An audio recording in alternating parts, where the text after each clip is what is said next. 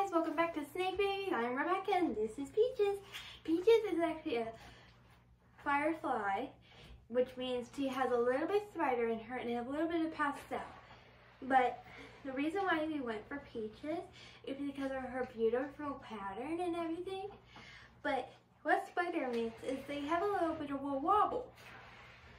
And it sometimes makes it hard for them to shed.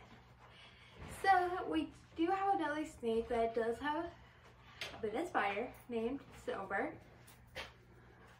And Silver is a spider too, but she doesn't, he just doesn't have enough spider DNA.